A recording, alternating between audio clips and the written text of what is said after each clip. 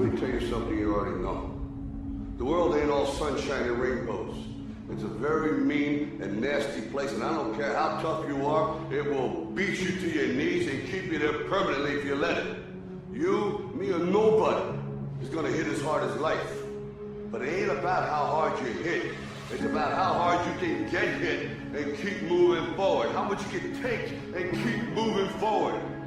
That's how winning is done.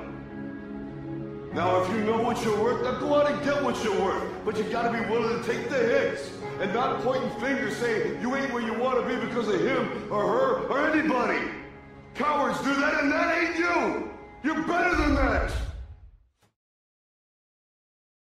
It's, Whenever you're saying Rocky, I always feel as though we're giving a vote of confidence for these great athletes, for real. You know, it, it's I, I've never pretended to be a boxer. I don't possess those skills.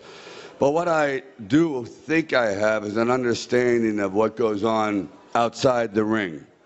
Outside the ring is sometimes maybe even a bigger struggle than what goes on inside the ring.